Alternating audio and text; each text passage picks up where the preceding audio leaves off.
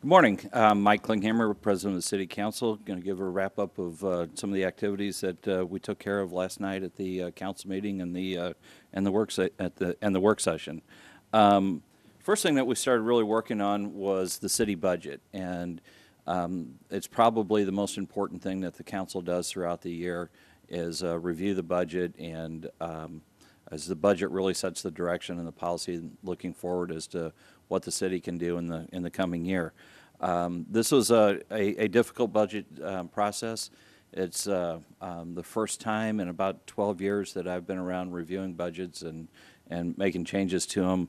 Uh, it's the first time that we're faced with a, a decreasing uh, revenue stream from from taxes. Um, that has not happened in, the, in well over the last decade, and it is uh, it's creating some uh, some budgeting issues that we have to work through.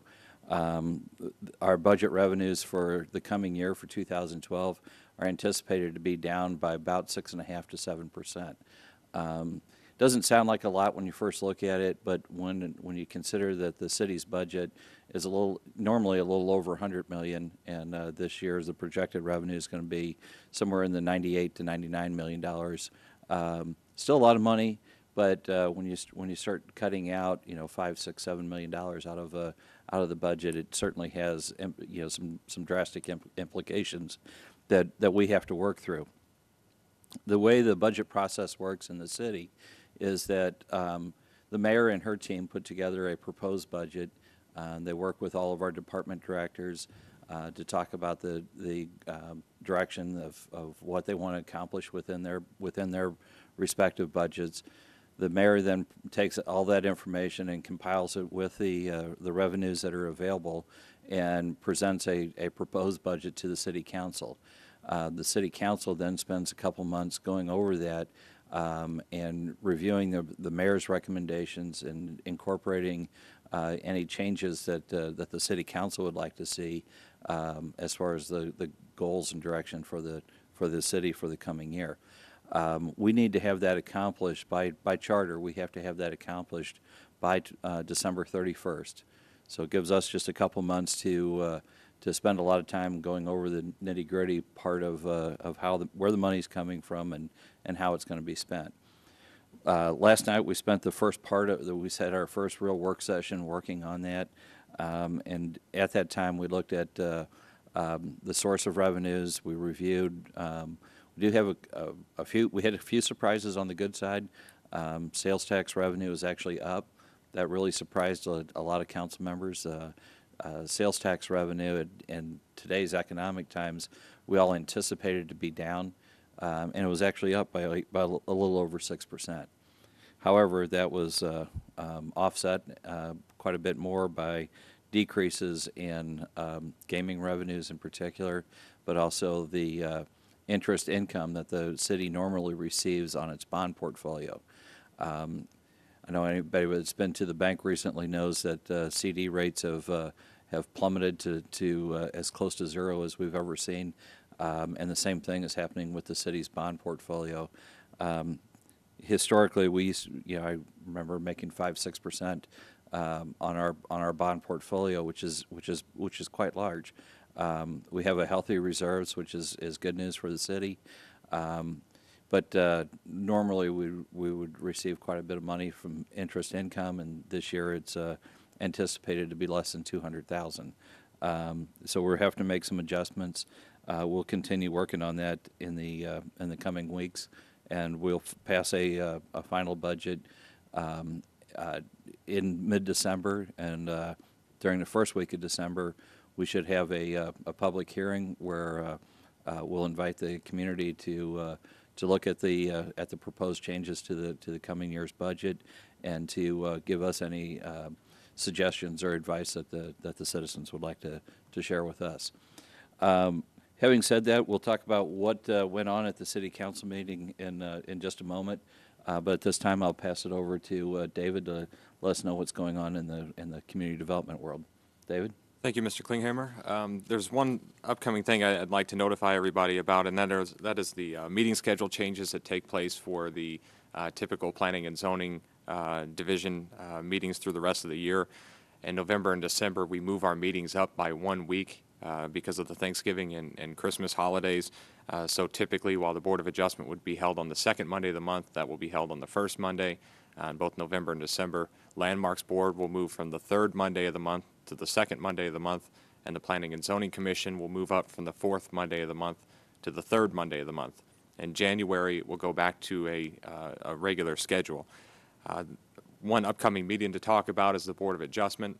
That will be held next Monday, which is November 7th, at 6 PM on the fourth floor of City Hall uh, in the City Council chambers. There is just one item on the public hearing agenda uh, for that particular meeting. It is Case 3711. This is uh, at 2003 Zumbehl Road. There are two requests here. This is a a Taco Bell property.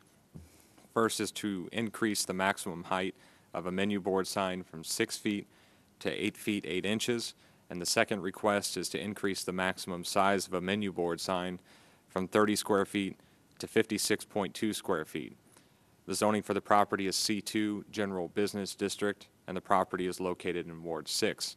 Uh, One other thing to note, and I bring this up from time to time, the city does have home improvement loan uh, funds available. Uh, These are funds that we receive from the federal government through HUD, uh, uh, essentially uh, for low to moderate income residents in the city to make improvements to their property. This is a no-interest loan that, that you would pay back upon sale of the property uh, or death. Um, So there is no ongoing payment with these. Uh, And uh, it's a really great program. Uh, We help a lot of people out every year with this. And uh, again, we do have funds remaining uh, for that particular program. If you have questions about it, you can contact Anita Telkamp at the Department of Community Development. She can be reached at 636 949 3222. And as always, if you have any questions related to planning and zoning matters uh, or code enforcement, you can contact the Department of Community Development at 636 949 3222. Thank you. Thank you, David. Appreciate the update. Um, Getting to uh, the actual city council meeting that, that we held last night, uh, Tuesday, November 1st. uh, We had a, we had an active meeting. We uh, um, are really happy to announce that uh, we have a new business that's coming to uh, St. Charles. Um, It is going to be, uh, it's, the name of it is Renewed Treasures. Um, Renewed Treasures is a, is a resale secondhand store that is going to be located on, on Droste. um, Don't have the exact ad- address, but it's, uh, it's where uh, St. Vincent de Paul was, uh, near the corner of, of uh, Droste and Duchesne. Um, this, uh, we're, we're excited to have them in our community. It's going to be a, a faith-based um, uh, organization that uh, is going to run the, uh, run that store, and um, we're happy to note that the uh, um, net profits that they, that they make from it, they're going to uh, reinvest back into our community and others um, in the, in the form of contributions to, to other groups. So we're, we're very happy to, to have them.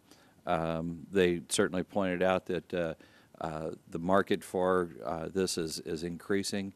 uh, Not not only with the downturn in the economy, people are looking for more bargains, but also we have a, a large population of uh, Lindenwood students that uh, certainly um, like to, to furnish out their, their dorm rooms uh, with, uh, with unique pieces of furniture, and, and uh, um, this is going to be a good opportunity for them as well. Um, The uh, other announcement that we had, um, we recognize the uh, Knights of Columbus of, from Harvester. Um, They're having, they're sponsoring their 21st No Hunger Holiday. And uh, these guys have, uh, have done some amazing things. Uh, In the last uh, 21 years, they've, they've grown from servicing about 120 families to, to well over 1,500 now. They've gone from uh, just being a, a local one to now where they, they service the entire county. Um, we certainly uh, applaud their efforts, um, and one of the ways that uh, that we can help them, you know, provide um, that uh, uh, some semblance of normalcy for, for people that are going through some really tough economic times.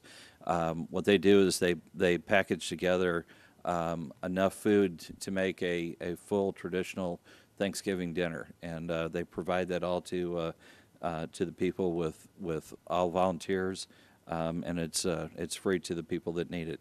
Um, one of the ways that, that we can help them out, though, is um, contributing turkeys.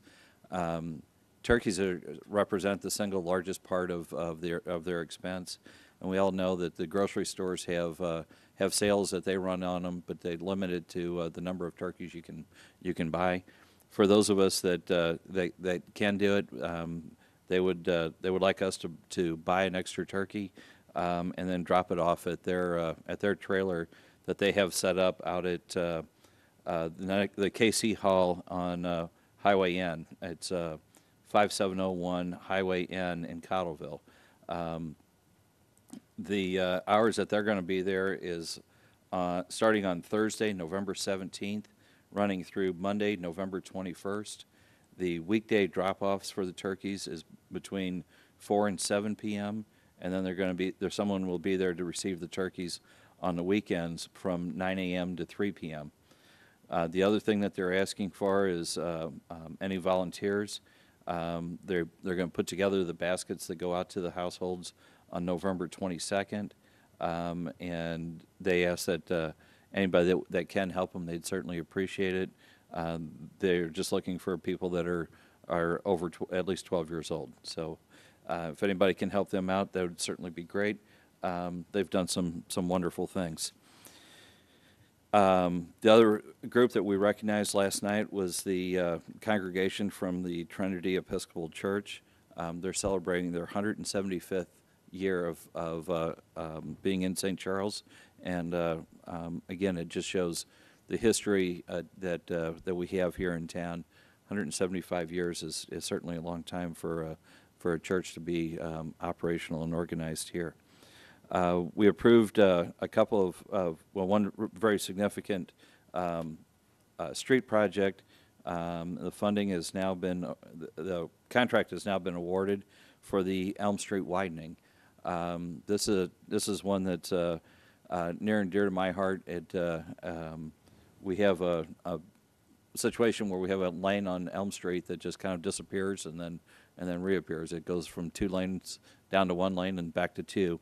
Um, That's been a, an ongoing problem for several years, um, and we're gonna, we're gonna solve that problem by, by adding the, the additional lane and that, that missing part um, on Elm Street. So uh, that part, that work will start here in the spring, um, and, I'm sorry, it- it's gonna start this fall, and uh, will be completed by the spring. So we're, we're looking forward to that. The other significant piece of, of legislation that we, we passed last night was the uh, um, utility tax rate cut. Um, We're very proud to announce that uh, um, we're actually reducing a tax. And um, not everyone is aware of the fact, but there's actually a 7% uh, sales tax on all the utilities. That's on the gas and electric um, and phones. Um, We're cutting that from 7% to 6.7%.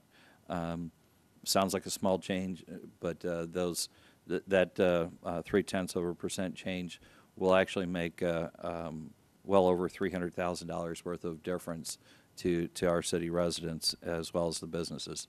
So uh, we're very, we're very happy to do, to do that. Um, The, uh,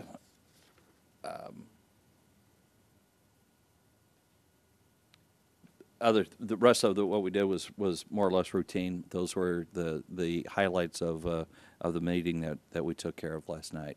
So again, I, I appreciate, uh, all the, the comments that we get.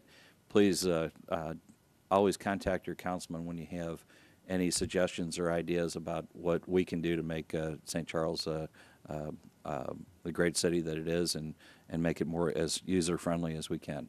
We certainly appreciate it. Thank you very much. Have a good day.